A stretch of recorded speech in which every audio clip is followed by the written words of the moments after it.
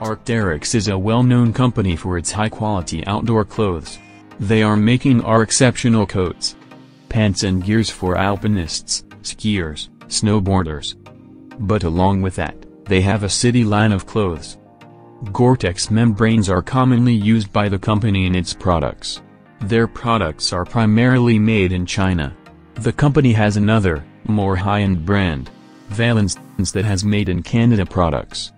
Arc'teryx parkas like Thorsen, Therme, Camosun, Magnus are great examples of warm, water and windproof city jackets for different climate winters, from Seattle and Vancouver to Toronto and Newfoundland. So if you are looking for good quality, warm parka or ski clothes Arc'teryx is for you to check. I know I know, I should have mentioned first Canada Goose but they are already too well known around the world.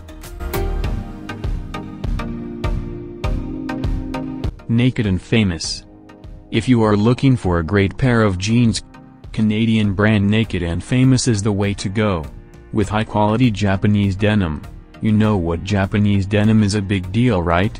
And a variety of different fits, you can easily choose the right one for you. One of the most popular jeans fit from the brand is Weird Guy.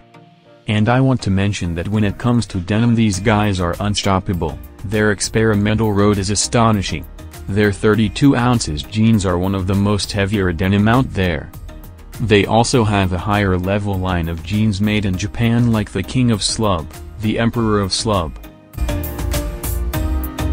Spier and Mackay. Okay, these guys probably would need more introduction.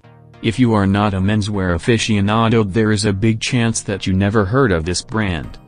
The brand was started in Canada in 2009 and the main goal was to make nice quality, yet affordable dress shirts for men.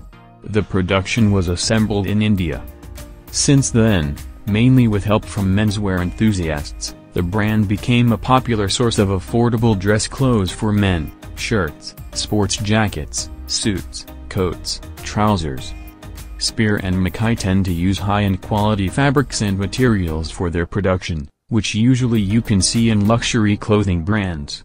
Mother of pearl buttons, high-quality brushed cotton, flannel, Australian merino wool, Donegal tweed and so on. Sorel.